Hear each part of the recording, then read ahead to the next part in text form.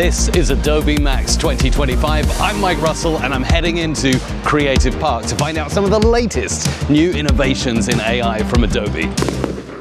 One of the most powerful features from Adobe Max 2025, in my opinion, is object masking. I can select this and using AI, select me, which is really cool. And then I can track me. Look at this, how it perfectly follows me and my hand movements as I walk through the Max foyer. Alright, now we can see this mask is fully tracked and it's done incredibly well. I'm actually going to go ahead and duplicate this layer by holding down the Option key on my Mac and drop it up here. Next, I can actually right click on the mask and change this to an opacity mask. Now why would I do that? Well, I can go ahead and select the text tool. Let's put 2025. There we go. Now you'll already see my hand is in front of that 2025.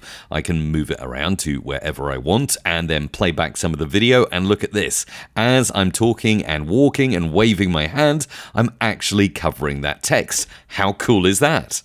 Now actually I quite like this frame so I'm going to export it and we'll use that a little bit later in the video. But I can actually drag on one of Premiere Pro's new transitions. Let's drag a wave onto me and watch as I glow it's an AI from Adobe. So as you can see there's a lot to be excited about with the Object Mask tool in Premiere Pro.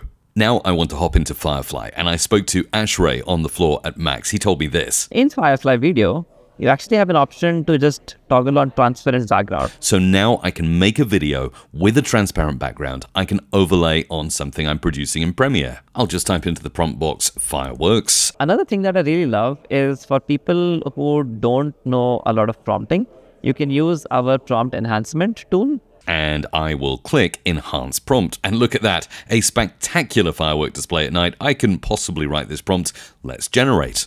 And when I find one I like, I can go ahead and download. And now we can see we not only have the fireworks display, but we have the alpha version, which I can go ahead and pull into my project. But it didn't have sound effects. This is where I got a superb tip from Jojo, the product manager for Premiere Mobile. You all know if you edit video how difficult it can be to find the exact right sound effect. Now, right here, you're going to see a music and audio button and generate sound effects. What we can do is you can perform the sound yourself. You'll see I've written fireworks there. Okay, there it is. Let's generate. And here they are. Let's add this in. Then I'm going to head back to Adobe Firefly and create a board. I'll go ahead and drag in some of the inspiration here, and this will now hit on my board. Now I can use AI to its absolute limit, especially with my free generations inside Firefly, so I'm going to vary and say more like this. This will give me a ton of new ideas based on that image, and I'll go vary, and we'll say keep the style, and pop this over here. Now we won't wait for those to generate, we'll actually do more stuff that I've seen at Adobe Max over the last few days. Here I'm going to select this picture of me wearing some headphones, and I'm going to go into presets. If you don't know which of the many models to use, and by the way, I need to slow down because I'm going a bit too fast, um, but you can actually see it's coming up with a ton of ideas of me, some of them more scary than others, all at a certain convention. I can probably make something of these generations coming in. Let's go to presets now I can use it, now I've slowed down, and I can go for different scenes. So I could go for a spooky scene, and you'll also see that it's picked out the right model for the right job. So we've got spooky scene uh, generated by Google's Nano Banana. You can create logos using ideogram. There's the ability to use other models such as Flux to remove text, and even Firefly to restyle. So as we see these little generations coming out here, very interesting variations, we can actually go ahead and maybe make a spooky scene. And I'm going to select me as the subject. So I just select subject and use the picker to add me as the subject. Let's generate and you'll see a generation comes. Now I can do this multiple times, maybe get four spooky scenes with me. Let's actually have a look at this and we can see me with some headphones looking rather spooky. Uh, there's also me here. Let's place this on the canvas. Uh, no idea what's going on there, but it looks rather worrying. Same here, I can place this on the canvas. There I am looking into a spooky pond with a crescent shaped moon there. Um, I far prefer the electric party. Let's get me there. I gotta say, that's actually a pretty funky electric party look. Here's another one. Very nice indeed.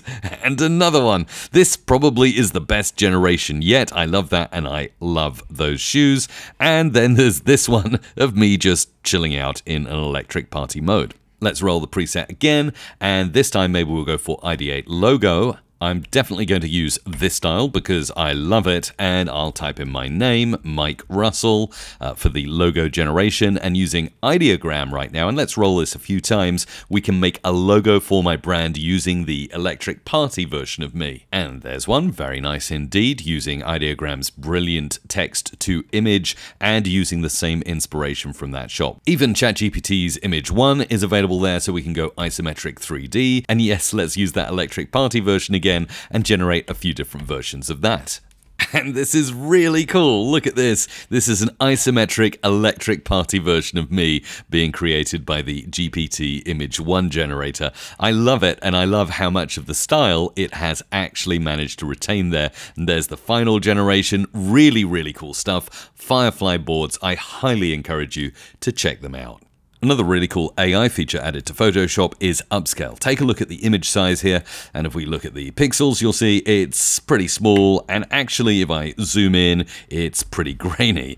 Uh, ignore the embarrassing DJ down there. But if we go into image and we go to generative upscale, we can now actually use Topaz Gigapixel, uh, which is the best in class for upscaling. Also Topaz Bloom if we want to add creative details, and Firefly even has its own upscaler. I'm going to go to four times with face recovery ticked because there's a person in there, and look at how huge it will make my really old photo. Click upscale, and look at that, that's crazy. Look at the amazing job that Topaz Gigapixel has done. And that is the grainy before. Look at that, that's insane. Grainy before and then clear, crisp after. We can go back, oh, that's the original tiny image. And this is this is just insane. Look at that. The upscaling is incredible using AI. I can grab this one. This is me uh, completing a trail in Australia again 25 years ago. So it's a little bit grainy and a little bit small. That's never going to win any awards for being a great photo. But I'll go back into Image, Generative Upscale, and this time I'm going to switch over to Topaz Bloom to maybe add some creative detail, and I can get as creative as I want. Let's go really creative, crank the creativity up to 10, and we'll go to the scale four times again, so we'll get a nice big new photo with a creative upscale. Uh, warning here, it probably won't be me remaining in that image, but we'll see what Topaz Bloom does with this. And look at that incredible upscaled photo. Uh, it's, yeah, it's a cleaner version of me with a different cap, uh, a different staff there, and different details in the background. Let's look at the original. There's the original grainy version, and there's the creative upscale. Now, of course, I could just use the normal upscaler and get an exact replica of me, but this is pretty cool. Okay, finally, let's have a bit of fun by selecting the shirt on an image that I generated just a few days ago using the Adobe Firefly AI. That's perfect. And now I can do a generative fill. And of course, I can drop down now and select from my models. Let's go for Nano Banana, and we'll say a shirt covered with flowers. And I'll just make sure that's real flowers. And then we'll generate and I've got to say, that flowery shirt is actually looking pretty good.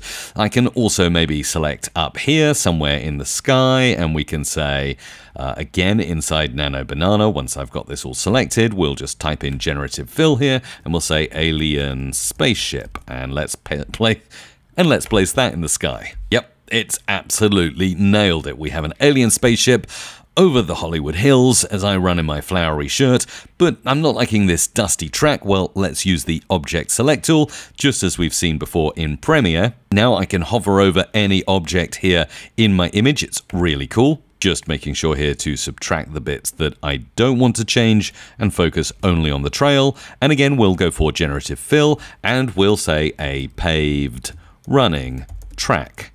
And we'll go ahead and generate. And there we go, not too bad. I'm running on a paved running track, not a dusty trail, in my flowery shirt, about to be abducted by aliens. One other creative twist here, maybe I want to use one of the many models available to me. Let's actually use the latest Firefly Image 5 that launched at Max 2025, and we'll say a running alien. We'll go ahead and generate. Now, after working hard with generative AI, I've got a running figurine that I like, a little alien that's maybe following me in the background here. I can place it on the running track. And you know what? It actually doesn't look too bad out of the box, but now Photoshop has another feature which is really cool. It's the harmonize button. And what that basically does is merges the object you've just placed into the image so that it looks like it actually fits inside that image and look at that, it's finished. I want you to look down here below the feet where there is indeed a shadow being cast on the running track as Photoshop has now harmonized my alien and it's definitely on my tail here running around Hollywood Reservoir. So there you go, Adobe Max 2025. What a whirlwind, what a bunch of really cool announcements. And let me know what your favorite feature is in the comments down below. Throw a like, subscribe, as I'll be doing more videos just like this one.